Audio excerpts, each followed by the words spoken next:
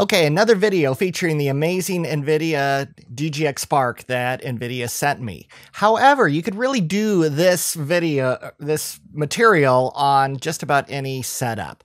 What I'm going to do is set up an Ollama server that I can use locally. An Ollama server is going to let me be able to run large language models locally here at my house that I can make use of on other computers. I'll be developing large language models on my Macintosh, and I will want to run local models for certain things.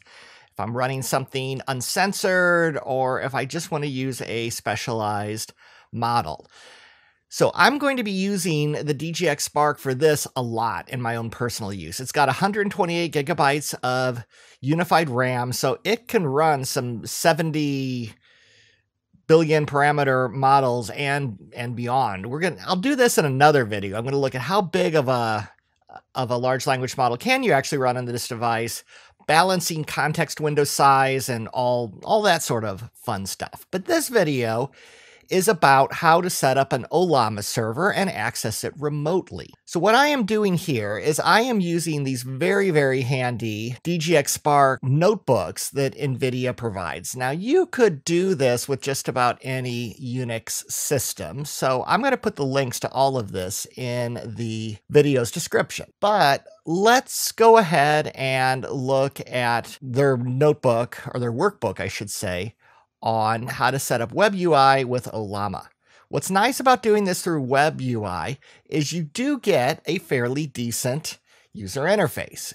And that will let you experiment with these models before you go off and try to access them through APIs using Python. All right, so we're going to go to the actual instructions and it's asking you to get to, to make use of Docker. So I am going to go and connect to the DGX Spark. I could be using its user interface through Ubuntu, but let's let's just do this. So I'm going to do that is the IP address that I have assigned it to.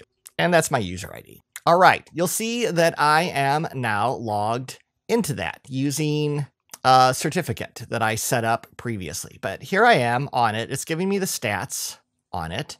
NVIDIA, the GPU is all set up already can run NVIDIA SMI. That scrolled off um, somewhat unfortunately, but that is that gives you there's there's not much running on it you can see there's some user interface things because we I do have it running connected to a monitor so I can use it locally if I should should desire. But they say run docker ps. This is just proving that you can access docker. If you have to do sudo docker, that works too, but it just means you're you haven't set up your your user to be part of the Docker group. So let's see what the next command they want me to run here. We're going to do this all in Docker, so that keeps it all nice and self-contained. And they say th this is if you wanted to add your user to to the Docker group, you don't necessarily have to do this.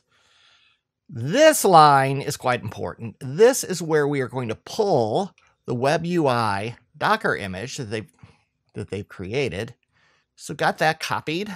And then we're just going to run that on the Spark. Don't run it locally unless you're literally on the machine that's going to be your server. So we run that. It's going to pull all of that. I have this wired gigabit Ethernet, so this should go pretty darn quick. Okay, it's installed. I did fast forward through that just a bit. Now that we pulled it, we need to start it up. And they give you the fairly lengthy command here.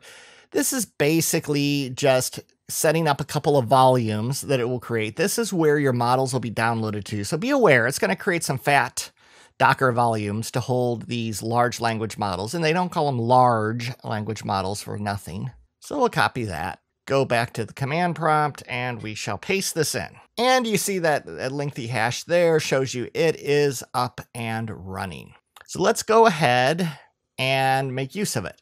You get to it through 8080, the port, on your local host. Now, I'm not on the local host. I am. I was installing this on the Spark, but uh, the machine you're actually looking at right now is my Mac.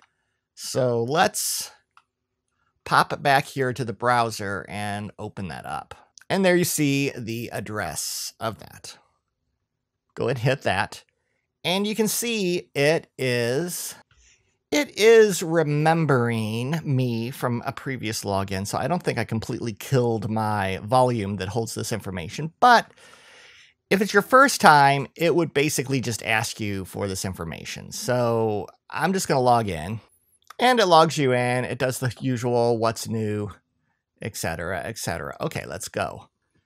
So you can see one of the models that I pulled previously was the DeepSeek R01 70 billion parameter model. So we're not going to go through and download that again. If you want to add these though, if you're if you're literally in this for your first time, then you just you basically do a search and you select that. You can see I have a couple of them in here. I have GPT, open source, um, all all of these.